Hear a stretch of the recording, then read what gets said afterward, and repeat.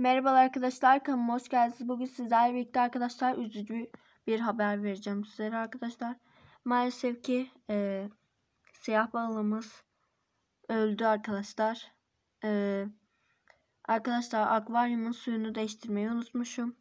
O yüzden arkadaşlar o kirli suda e, ölmüş bilmiyor, bilmiyordum ben de bunu.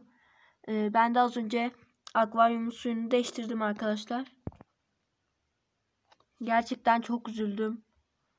Ee, yaklaşık bir saat falan ağladım. Gerçi onun için.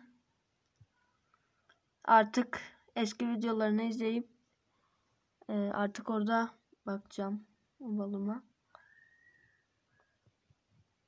Yani böyle.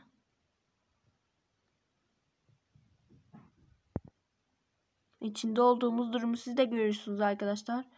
Ee, yani benim elimde de değil arkadaşlar. Yani günü gelince ölüyor. Yani ne yapabilirim yani.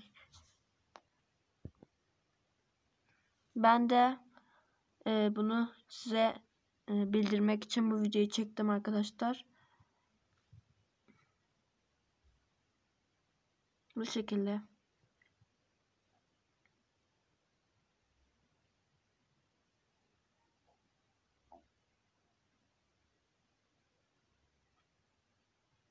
Bay bay arkadaşlar. Ee, son balıklarımıza gösterelim.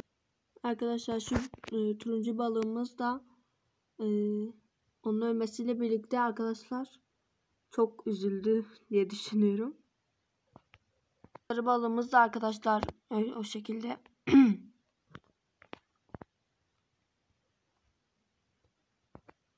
arkadaşlar son durumlar böyle. E, beğendiyseniz beğenmeyi ve kanalıma abone olmayı unutmayınız. Ee, görüşürüz.